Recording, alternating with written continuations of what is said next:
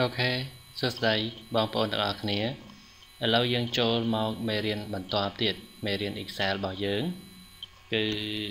គេហៅថា sale car daily report ណាបានថាយើងលក់ឡានរបាយការណ៍លក់ឡានប្រចាំថ្ងៃណា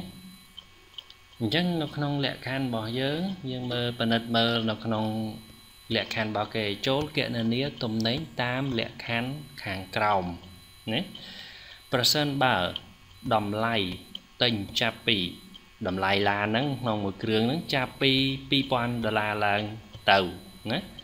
ត្រូវបង់ពន្ធជូនរដ្ឋចំនួន12%ណាអញ្ចឹងអាហ្នឹងគាត់ថាជាលក្ខខណ្ឌទេអានេះខ្ញុំឧទាហរណ៍ណាមិនមែនរដ្ឋកាត់ប៉ុណ្ណឹងខ្ញុំអត់ដឹងទេណាគឺអាស្រ័យលើលើរដ្ឋទេណាអានេះគាត់ថាជាការឧទាហរណ៍យើងគាត់ថាដូរភាគរយទៅមែនទេតែបើទៀបជាង2000 ដុល្លារអញ្ចឹងត្រូវបង់តែ8%ឯណាយើងតែងចាប់ពីអឺពី2000ដុល្លារចុះណា2000ដុល្លារឡើងគឺយើងត្រូវបង់12%អញ្ចឹងកន្លែងចំណុចនេះគឺលេខរៀងហើយ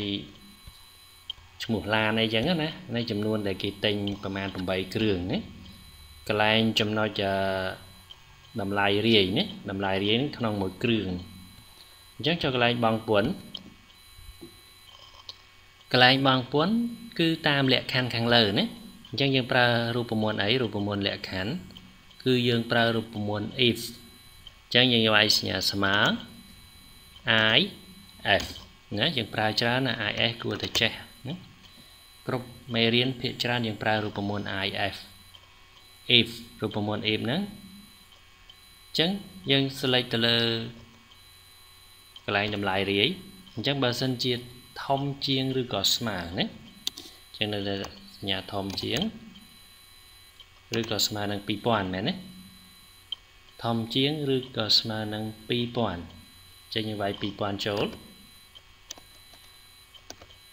ធំជាងឬក៏ស្មើនឹង2000អញ្ចឹងឲ្យចេញប្រមាណណាកាត់ប៉ុន្មានភាគរយ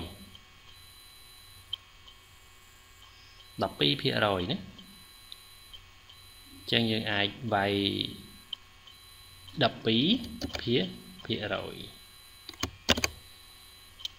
បន្តទៀតក្បៀចុះក្រៅពីហ្នឹងចេញបាន8%អញ្ចឹងយើងវាយ8%យើងអត់ប្រើ A 2ដងទៀតទេណា8%រួចបិទវងបញ្ចុះវិញរួចចុច in enter ណាអញ្ចឹងវាឃើញចេញ0.12ណាហើយយើងអូសរូបមន្តនឹងចុះក្រោមមក ចេញបានរូបមន្តណាអញ្ចឹងយើងចង់ចេញសញ្ញាភាគរយនេះ0.12វាចែកជាភាគរយឲ្យស្រេចយើងចង់បានសញ្ញាភាគរយចុចទៅលើសញ្ញាភាគរយនេះមកវិញមកណាអញ្ចឹងបាន12%ភាគរយ8%ភាគរយនេះកន្លែងនេះ1500ដុល្លារគឺ8%ត្រឹមត្រូវណា1500នេះណា8%ណា8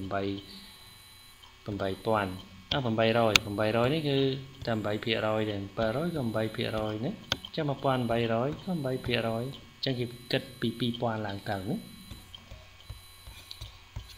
ចឹងហើយមួយហើយតារាងហ្នឹងតម្លៃដែលត្រូវបង់ពន្ធណាកន្លែងចំណុចនេះគឺតម្លៃដែលត្រូវបង់ពន្ធតើយើងបង់ពន្ធប៉ុន្មានណាចឹងតម្លៃដែលត្រូវបង់ពន្ធយើងធ្វើម៉េចអញ្ចឹងយើងប្រើរូបមន្ត product ក៏បានប្រើសញ្ញាគុណធម្មតាក៏បានដែរណា យើងវាយសញ្ញាស្មើរួច select ទៅលើតម្លៃរាយក្នុងមួយគ្រឿងណាអញ្ចឹងយើងដាក់សញ្ញាគុណផ្កាយហើយសញ្ញាភាគរយអាគុណនឹងភាគរយនេះណារួចចុច enter អញ្ចឹងបាន9600អញ្ចឹងគាត់កាត់ពន្ធ9600បាទ80000ដុល្លារហ្នឹងចិត្តអស់10000អញ្ចឹងយើងបង់ពន្ធចូលរដ្ឋតើកតបកិច្ចពន្ធតើអ្នកណាគេអ្នកបង់ណា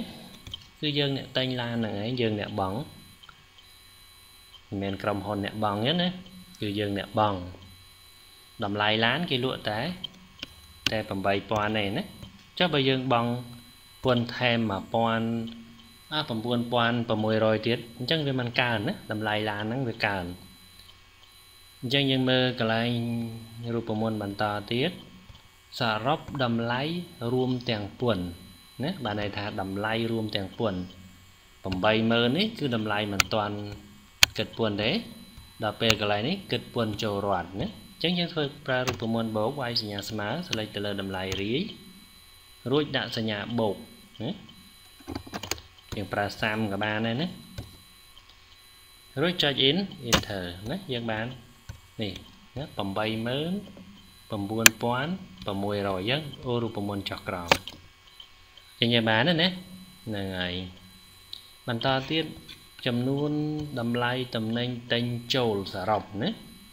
តែងចូលសរុបវាយសញ្ញាស្មើក្នុងមួយគ្រឿងតម្លៃប៉ុណ្ណេះតើយើងទិញប៉ុន្មានយើងកូនមកណាកូនហ្នឹង8គ្រឿងយើងទិញចំនួន8គ្រឿងណារួចចុច in enter ណាសរុបគឺប៉ុណ្ណេះដុល្លារណាគឺ71800ណា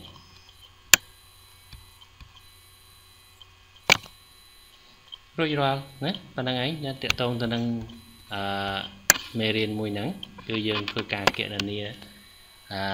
បងពន្ធជូនរដ្ឋណាសូមអរគុណសូមជម្រាបលាកុំភ្លេចជួយចុច Subscribe ដើម្បីបានវីដេអូថ្មីហើយនឹង comment ខាងក្រោមផងសូមអរគុណ